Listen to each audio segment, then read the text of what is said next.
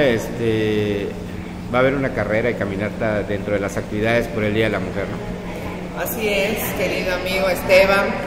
Estamos organizando varias actividades durante el mes de marzo para festejar el Día Internacional, en el marco del Día Internacional de la Mujer. 2016 es un año emblemático para las mujeres porque este primer Día de la Mujer, Día Internacional de la Mujer, coincide en Yucatán con el centenario de los primeros congresos feministas en Yucatán y esto nos da a nosotras las yucatecas pues el orgullo de sentirnos pues herederas de las pioneras de lo que hoy las mujeres estamos cosechando a nivel nacional. ¿Qué día va a ser la competencia?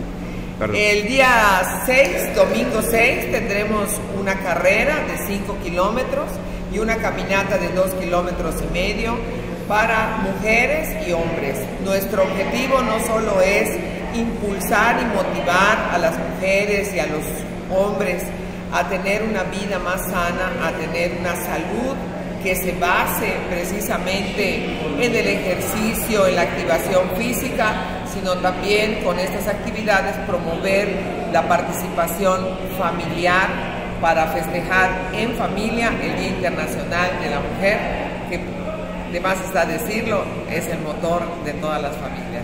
Felicidades en el Día Internacional de la Mujer, 8 de marzo. Gracias, diputada.